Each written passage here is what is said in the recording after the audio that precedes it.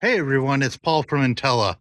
We're back again here to help you identify what kind of mast you have. Now, taking a look at this Yale forklift here, you can see that we have a three upright mast here. So we know that this is a triplex mast. It's three stage. If you're looking for seal kits, that's going to be one of the questions that more than likely is going to be asked of you. Do you have a single, duplex, or triplex mast? This is how you identify it. This one has three, so it's a triplex. If you only have two of these, you got a duplex, and if there's only one, simplex, single stage. Here's a view from the back on this. Now this is a 93 inch mast, so this is pretty high lift on it. But you got your free lift cylinder.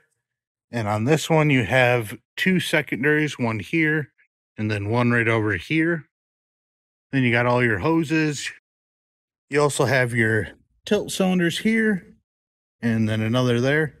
Your tilt cylinders typically have the same seal kit on them your free lift cylinder in the center here, that's going to have its usually a different seal kit than either of your secondary cylinders. Usually the secondaries have the same one.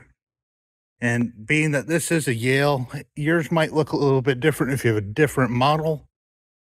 But the general idea is the same across the board.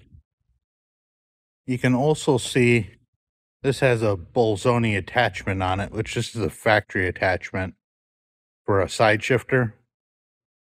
Not all side shifters are factory.